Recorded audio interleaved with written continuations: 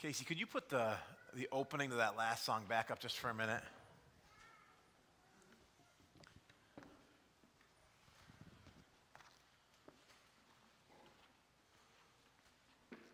Lord, I come, I confess, bowing here, I find my rest. One more verse, one more line. Maybe. Without you, I fall apart. You're the one that guides my heart. Maybe that could be our prayer today. That apart from you, Jesus, I have nothing. Even if we feel like we have everything, apart from you, I have nothing. And Pastor Joe, it's good to be here with you this morning. Let's start our time off together with a, with a moment of silence and some prayer, and then uh, I'll close us out.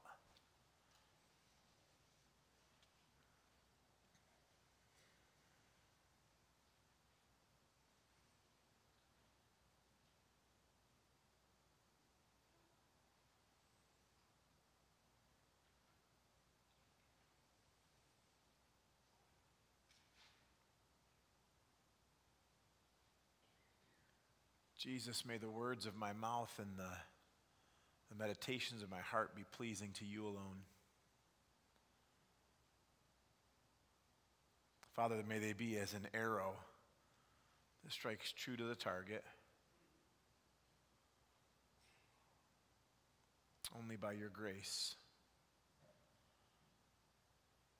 But whether through my words or in spite of my words, would you receive glory and honor and praise today?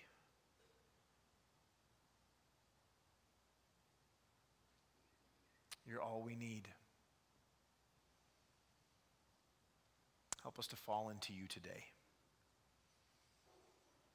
And let it begin with me again. In the name of Christ our Lord, amen. Well, last couple of weeks, we've been unpacking a sermon series on prayer, inviting us to intentionally seek the Lord each day. First week, we unpacked adoration, or this, this means of adoring God and, and telling God who God is, and praising God for, for who He is and for who we are. And uh, last week, as we unpacked the Lord's prayer, or the 23rd, the Lord's prayer, not the 23rd Psalm, the Lord's prayer a little bit, Pastor Tom invited you to, to come into alignment with the will of God and to know what the will of God is. And remember, the will of God is that we would know God ultimately and that we would be in relationship with God. That's been God's desire from the very beginning. He created us with a plan and with a purpose, and He delights in us. And God, God wants to continue to reveal God's self to you. Because when we see more of who God is, we become more like God. And then we take that which we have received and share that with others. Today, as we unpack our last leg of the sermon series on prayer, we're going to dive into intercession. Intercession is just a big fancy word that, that literally means to come and to, to be in between two people, right? Or to take something somewhere. You're coming on behalf of someone else. You know, uh, Many of us oftentimes ask for prayer. I don't need to carry around a coffee cup all day. I can put that down. I don't have to have something in my hands all the time. Many of us come and, and, and ask for prayer for different things. And, uh, you know, I've been guilty at times. Maybe this has been your story too. I've been guilty of telling someone that I would pray for them. And I have the best of intentions to do that. And then forgetting completely about it until long after whatever it is that I was supposed to be praying for happened. Anybody else? Does that resonate with anybody else? The rest of you are what we call saints. I've tried to make a habit recently of, of changing the way that I do things and, and just actually stopping and praying for whatever the situation is right then and there. Maybe you've been the recipient of that. When you bring to me a prayer request or a concern after the service or during the service or whenever it is, okay, well, let's pray about that. Sometimes people are like, oh, yeah, that'd be great. You pray for that, Pastor. I'm like, no, like right now, we're going to pray for that right now. Because I won't remember later. I, I have got the gift of forgetting. Um, intercession is about bringing someone or something to the throne of grace ultimately. And, and, really, when you think about it, there is no greater example of love than that? You have an intercessor that is always doing your bidding. His name is Jesus. He's always bringing your needs and requests and you to the throne of grace over and over and over again. If you miss everything else that we talk about today, if you don't hear anything else from the Lord, know that God sees you, that God loves you, and that Jesus intercedes on your behalf all the time. This summer, uh, well, actually, it's been for a few years now. I've had the privilege of um, being part of Royal Family Kids Camp. Who else has been part of Royal Family? Anybody? If, you, if your hand is not in the air and you are part of Bemus Point Methodist Church, you have been part of Royal Family actually in significant ways. Being part of something doesn't mean you're always there. Being part of something means you support it in prayer, you support it through your giving, you support it through your time, right? All of those things are being part of. So if you're part of the church, you've actually been part of that. Some of us have been there. And this last summer was a really special week of camp. Every year, I, I suppose we probably say that every year, don't we? Well, uh, this year was really special. And, and someone came and they brought some gifts with them. And one of the things they brought was this little guy right here. Who else has theirs? Come on. Do you know where they are? Mine travels around with me almost every day. It lives in my little man purse. I had a girl come into Park Church the other day and say, Pastor Joe, why do you have a purse? I said, That's not a purse, that's a European man bag. it's actually a satchel. Don't mock me. She goes, That's a nice purse. Carry on. Mm. She's like 11. Like, what do you know? You don't know anything about man purses. Neither do I. A guy gave it to me and I kind of like it. It carries my Bible and my, my computer in it. And my little starfish. You know the story of the starfish, right? Man was walking along the ocean and all these starfish were washed up on shore and he was feeling bad for them because they were all like dying. And he heard very clearly, well, just, just do, take one. And, and he threw it back in the water. And he did what he could in that moment. And if each person did what they could do, Imagine how many starfish would be saved because it's overwhelming when you look at it in, in the big scope. Well, Royal Family, uh, they gave these out. And uh, I don't remember if the woman who, who had gotten these for us said this or not, but this little starfish became for me a tangible reminder to pray for the kids that were part of Royal Family last year. And every time I pray for them, it's called intercession. I'm praying on their behalf. Some of them I know their stories. Others I have no idea what their story is or what their needs are in the moment. But God does. But this little starfish is just a, a friendly reminder. And I don't even know if that was the purpose of it. But it's a little reminder for me to pray. That's the first question I want to ask you is do you have any little reminders that help you to, to pray for things? If not, I would really encourage you today to start to talk to God about that. Lord, help me to be mindful of praying for whatever it is, right? For me right now, it's those little ones. I got lots of little reminders, right? I got lots of little things that, that kind of prompt me to pray. As we uh, close out our series on prayer, specifically with intercession, I want to give you a couple of resources that might be helpful to you. Um, some of you have asked me about what books can we read to, to study on prayer? What books are, who, what are some good authors that, that write about prayer? And if, if that would be helpful for you, there's a couple that, I, that came to mind very quickly for myself. And uh, Pastor Tom would, would love to give you some resources too, or at least access to some resources. But one of them is uh, E.M. Bounds. So E.M. Bounds, and it's called The Complete Works of E.M. Bounds. Now, this is not an easy read. And unless you are living in the world of entire sanctification all the time, you're going to really struggle to read what he has to write because he doesn't hold anything back.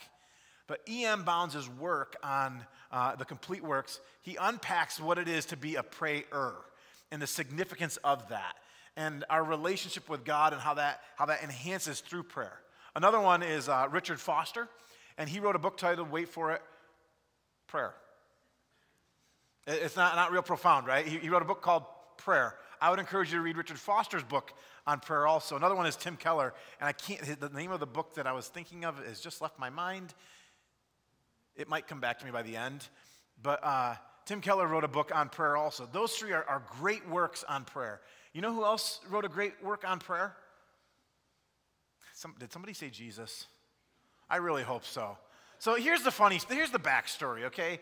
So someone had asked me about um, some resources on prayer, and I'm like, oh, okay. Well, I started to think a little bit. And then I went to my, my, my friends, who are my phone a friend guys. I usually have a couple of people that I call because they're, they're very well read, and I'm like, they'll remember the names of the books that I don't remember the names of. And, uh, and I put it out there, and I'm like, hey, guys, and it's my covenant group, actually. And I said, hey, guys, uh, what resources do you have on prayer? And the one guy, without missing a beat, says, why don't you read the Bible, Joe?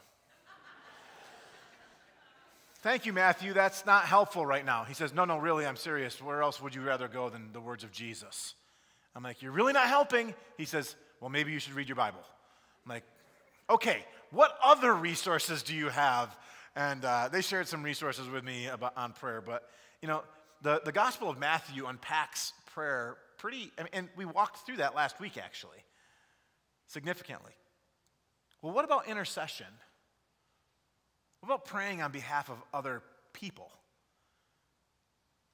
Today we're going to be unpacking the beginning of the book of Philippians. If you got your Bibles, I'd encourage you to, to turn with me there.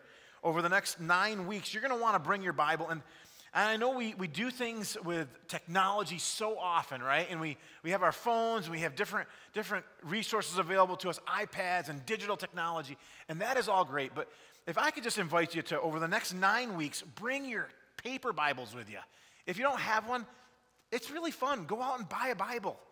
Ollie's has them, right? Walmart has them. You can buy them at a gas station sometimes. If you can't, uh, if you can't get your fingers on a Bible, come and see Pastor Tom. Take one off his shelf. I don't, I don't. He's not here today, so this is going to be a lot of fun. Uh, he's actually preaching in Gerry this morning, but uh, bring your paper Bibles with you because there's, there's just something about, and, and Pastor Tom says this, right? He loves to hear the sound of the pages turning. You can't hear the swiping right? But over the next nine weeks, we're going to dive through the book of Philippians. This year, God uh, helped us to unpack a little bit of how we wanted to teach and what we thought might be helpful for you as a church. And one of the things that we realized was we need to do a little bit better job on Sunday mornings of teaching through the Bible a little bit more. So, systematically kind of walking through different sections of the Bible. We're going to start with the book of Philippians. And uh, the book of Philippians, if you've read the book of Philippians, it's in the New Testament. It's one of Paul's letters to a, a, little, a little community called Philippi. And uh, in it, there's a, there's a theme that kind of resonates and carries throughout the whole book. And that has to do with joy. The book of Philippians is, is really about joy. And uh, each week we're going to unpack a, a, another section. And we're not going to just go in order from the front of the book to the back of the book because actually, uh, it really starts in chapter 2, and it all kind of comes around this image of who Christ is. But for today, we're going to look at the very beginning, and, and Paul does a really good job of revealing to us what intercessory prayer is and how we can come alongside that ministry. So there's a few things that we want to give you on the front end. The first is, you know, intercessory prayer starts with encouragement. It really starts with, with, with how we how, Paul is encouraging the body that he is going to be praying for. And then he unpacks the work that he's about to do. And I want to give you some practical things in there as well. And then the last thing I want to share with you is the blessing that comes from praying for others.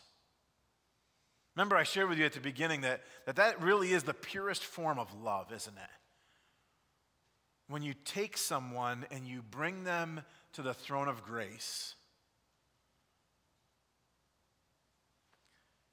There's a two and a half years ago, I think it was, uh, during one of our services, a woman uh, had been navigating, a, a, husband and wife actually, but the husband wasn't here that week, had been navigating some difficult things with one of their kids.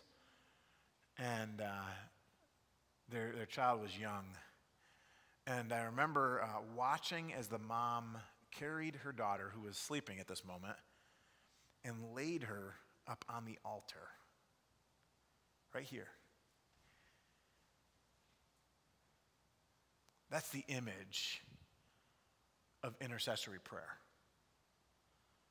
Of you taking whatever it is, whoever it is, to the throne of grace and trusting that Almighty God is going to work in this moment. Philippians chapter 1, beginning with verse 3. This is where Paul dives right in. He says, I thank my God every time I remember you.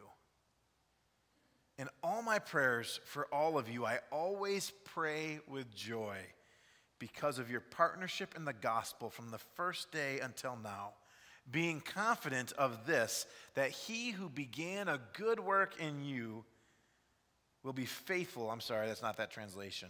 Will carry it on to completion until the day of Christ Jesus. Forgive me at times, I got to just read rather than I've memorized scripture in a bunch of different translations, so at times you get the King James, at times you get the New King James, at times you get Joe's paraphrased version. You never know what you're going to get. I'll try to just read off the, off the paper here. That he who began a good work in you will carry it on to completion until the day of Jesus Christ. It is right for me to feel this way about all of you, since I have you in my heart. For whether I am in chains or defending and confirming the gospel, all of you share in God's grace with me. Paul says, God can testify how I long for all of you with the affection of Christ Jesus. And this is my prayer. Wait for it. That your love, that your love may abound more and more in knowledge and depth of insight, so that you may be able to discern what is best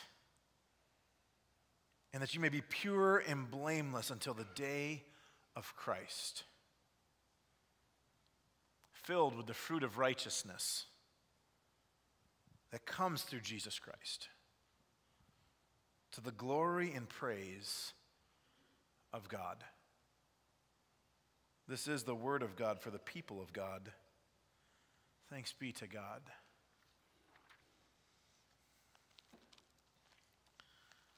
Each Sunday morning, uh, I stop at Park Church on my way over the hill if I'm preaching over here. And uh, there's a gentleman who, who, greets us at the door oftentimes. And he brings me a little note card, and on that note card is a joke. And sometimes those jokes are hilarious, and other times they're not. And you tell me which one it is typically. I laugh at all of them. This is today's. He goes through great lengths. He types them up, cuts out a little piece of paper, sticks it on an index card, and then promptly hands it to myself and Pastor Brandon. He says, With the price of everything going up lately, I got gas the other day for only $1.39. I'm like, hmm. He said, Unfortunately, it was at Taco Bell. yeah, that was a good one, wasn't it? I just wanted to test the flavor of the room for a moment, see where we were going, okay?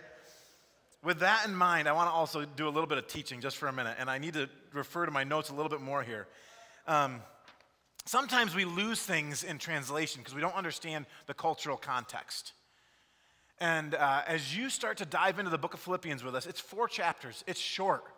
You're going to feel good by the time you get done reading it, especially if you're going through the Bible plan with us. Because right now we're in Job, and it doesn't feel real good right now.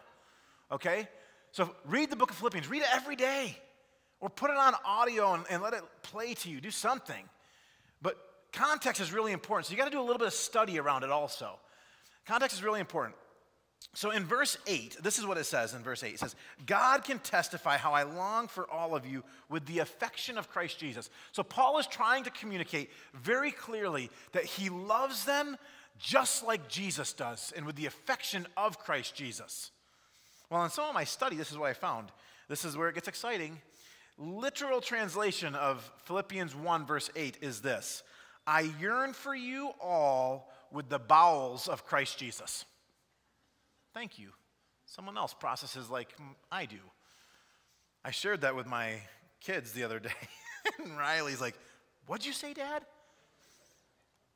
says literal translation of Philippians 1 8 is I yearn for you all with the bowels of Christ Jesus. That term bowels literally means the upper intestines, the heart, the liver, the lungs. The Greeks, the Greeks believed that to be the seat of the emotions and the affection. So, Paul is saying to the early church, I yearn for you with the very compassion, the very essence of Jesus Christ himself. And he says, I love you as Jesus loves you. With everything that I am. That is the heart of intercessory prayer.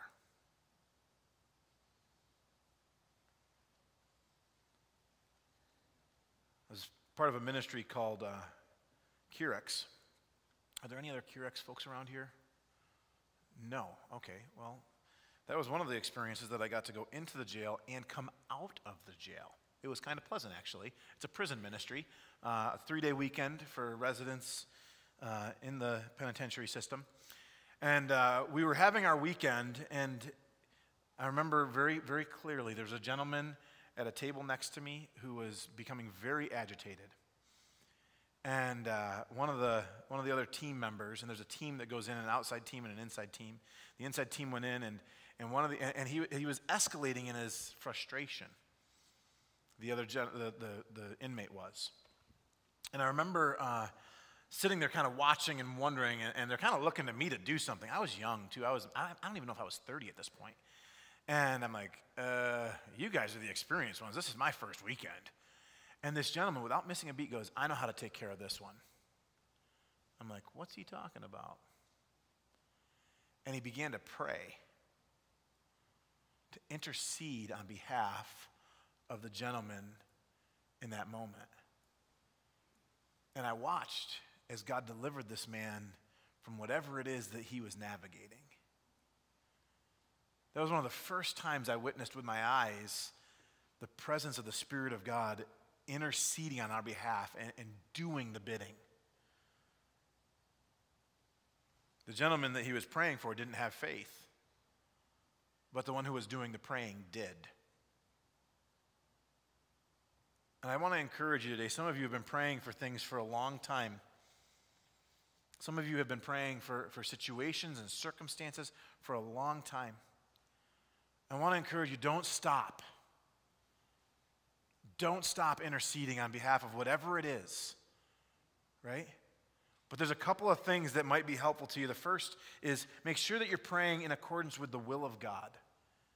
Right? And this is where the work begins, right? This is where we really got to start to discern, okay, God, what are you asking me to pray for? Not just what is my desire for this situation, but God, what are you asking me to pray for? And that's what Paul does in the end of this section. In, in verse 9, he begins to say this. He says, And this is my prayer for you. He's discerned what the will of God is because he says that your love may abound more and more. You remember, we unpacked what the will of God is it's that we would know God and that we would enjoy his company forever. God's desire, his first and foremost desire, is that you and I and all of humanity would be in intimate relationship with God. Peter says that God's desire is that none would perish, not even one. That's kind of mind blowing when you step back for just a moment, isn't it?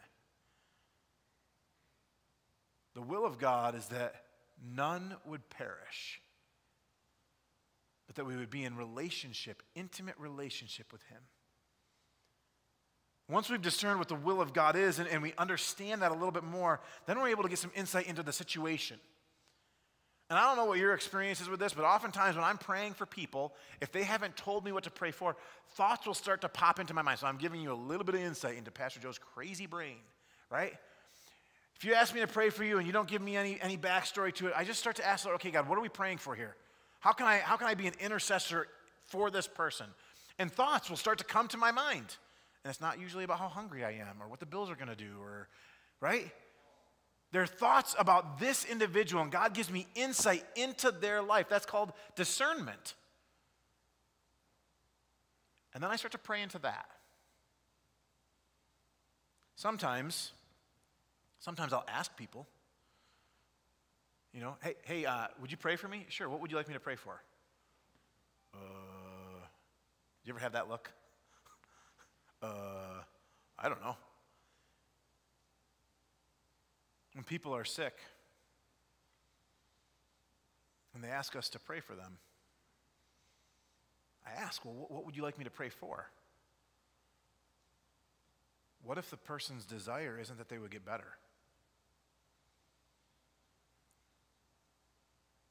That's tough right there. What if that's your desire but not theirs? What if their desire is to, to meet Jesus? We've talked about this a little bit recently because we've navigated death with some folks who were just ready to go home. I don't know if it works like this, but I think they felt like when we prayed for their healing that they were being snatched back out of the door that they were trying to get in. So I started to ask that question well, how would you like me to? And obviously, this is appropriate times, right? You know, you, you fail your English test isn't a reason to go home. but when you're in end of life care and stuff, maybe it is time for us to rely on the goodness of God and the hope of the future with Christ, which is eternal. Intercession, listening to God for how to pray, asking others how we can pray with them and for them. Sometimes others don't know what the need is, and we simply come. Do you believe that your faith will be the agent? Because faith is the only agent that does healing, by the way. Healing only comes to the Spirit of God in that moment, right? That's, that's how that happens. Do you believe your faith can heal another individual? If the answer to that question is, I'm not sure about that, or, or, well, let's back that up a little bit. If the answer to that question is no, then why do you pray?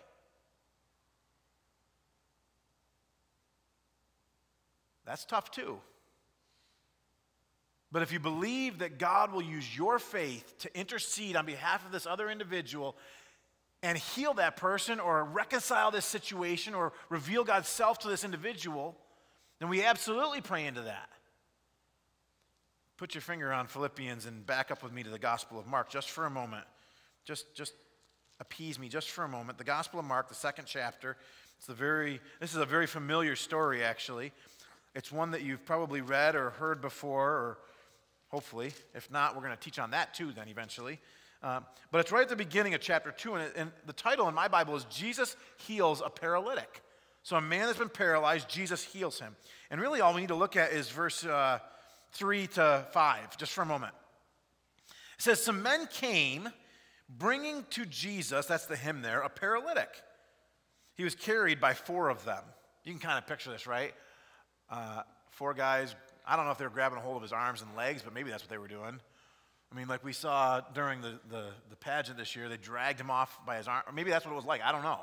Just as they were carrying him to Jesus.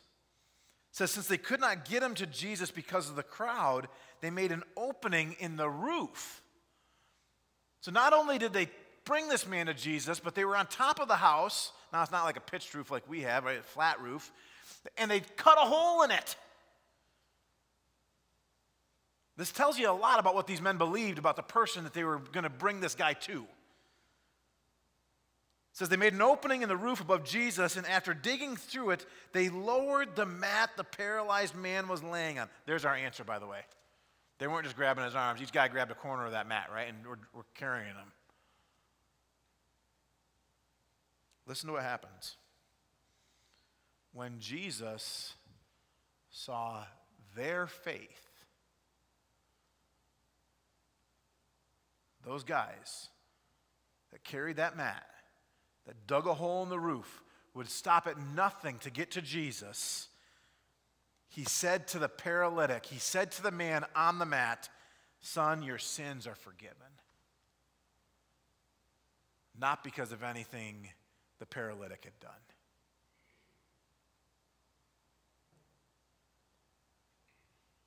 I often talk about this when I teach on baptism. So if you've uh, been baptized into the church by myself, we've walked through what baptism is. One of the things that we talk about needing to be present in baptism is faith. Whose faith? Well, if you're making a profession personally, then it's your faith. If you're bringing to me a baby or a, a small child, it's not that child's faith, it's your faith in that moment. This oftentimes gets me in a little bit of trouble, but it's the reality. If you don't know who God is and you bring me your child and you ask me to baptize that child, I'm going to tell you yes. Because I have faith.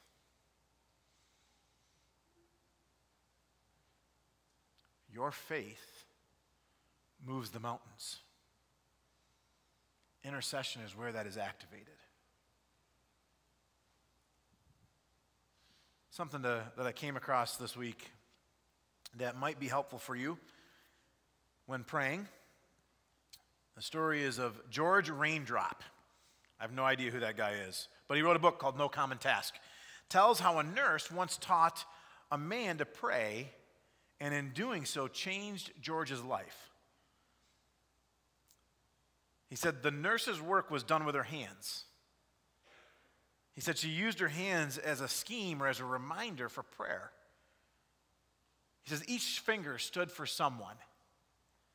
Her thumb was nearest to her. It reminded her to pray for those who were closest to her her family, her loved ones, those really close. Her second finger was used for pointing, and it stood for all her teachers in school and in the hospital, those who were pointing us somewhere. Her third finger was the tallest, and it stood for the VIPs, the leaders in every sphere of life. If I could just pause for a moment and say thank you. Thank you so much for praying for me. And I know Tom would echo that same statement. And all the staff here at the church, we would echo that same statement. Thank you for praying for us. There have been times when the pressure has been so real and so intense, and the only thing that has carried us through that is you by the grace of God. Her fourth finger was the weakest, as every pianist knows, right, Sean? And it stood for those who were in trouble and in pain. And she said the little finger was the smallest and the least important. And to the nurse, it stood for herself. Don't neglect to intercede on your own behalf.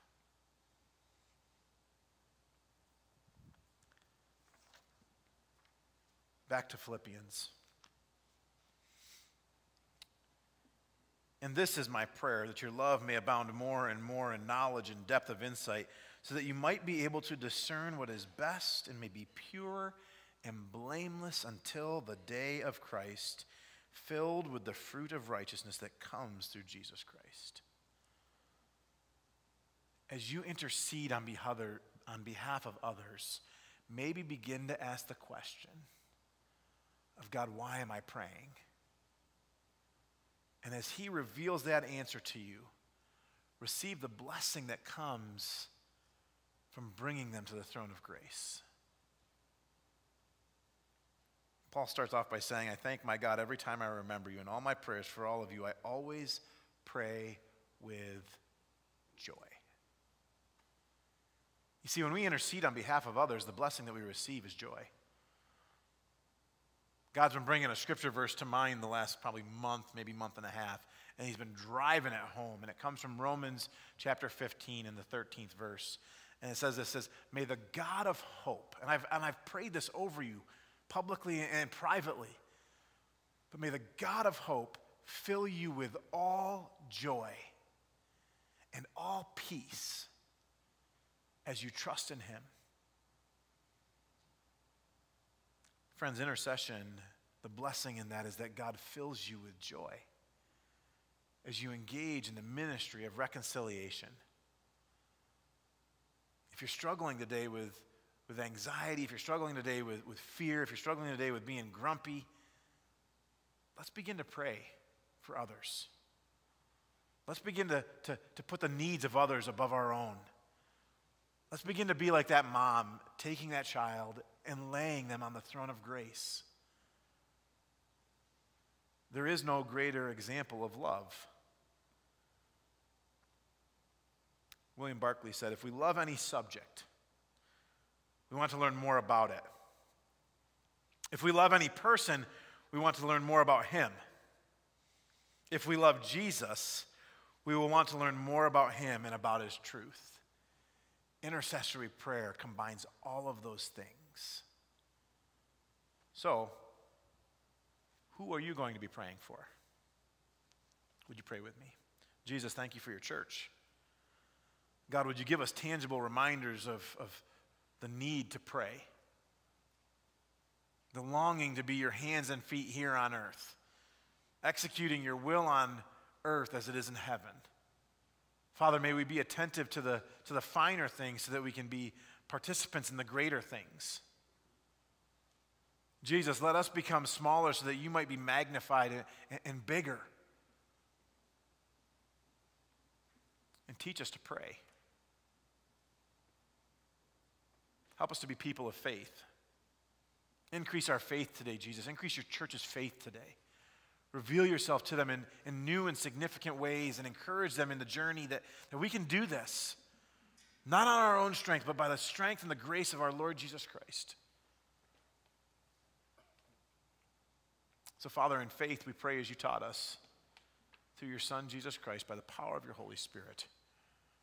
Our Father, who art in heaven, hallowed be thy name. Thy kingdom come, thy will be done on earth as it is in heaven. Give us this day our daily bread, and forgive us our trespasses, as we forgive those who trespass against us. And lead us not into temptation, but deliver us from evil. For thine is the kingdom, and the power, and the glory forever. Amen. I'd invite you to just take a moment and uh, we're going to be quiet for a minute. We're going to reflect on, on how God has spoken to us, how God has ministered to us. We're going to allow God to prepare our hearts to give back to Him through our tithes and offerings. And I'll close out that, that time with the doxology, and then the worship team will close out our service together. Let's just be quiet with the Lord for a minute.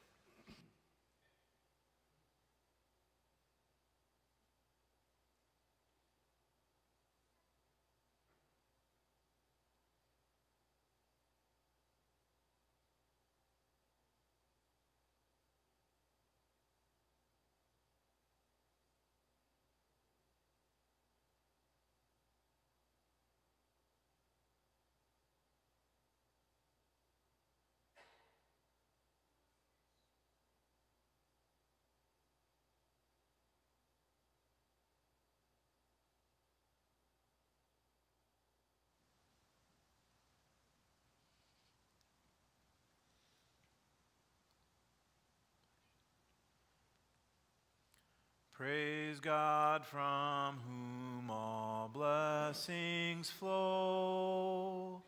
Praise him, all creatures here below. Praise him above, ye heavenly host. Praise Father, Son,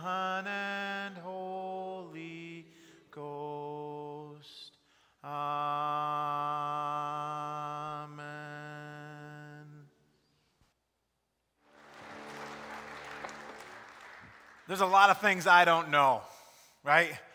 Like many of you, I'm hoping that the Bills win this evening. I have no idea if that's going to happen or not. But there is something that I do know.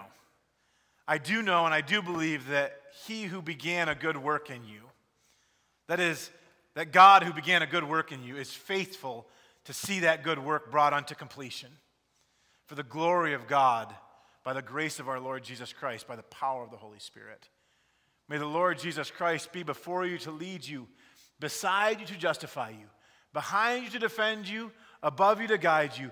But might Jesus, the risen Christ, by the power of God's Holy Spirit, be within you, refreshing you, empowering you to remember those in prayer and to love the hell out of your neighbors in Jesus' name. Amen.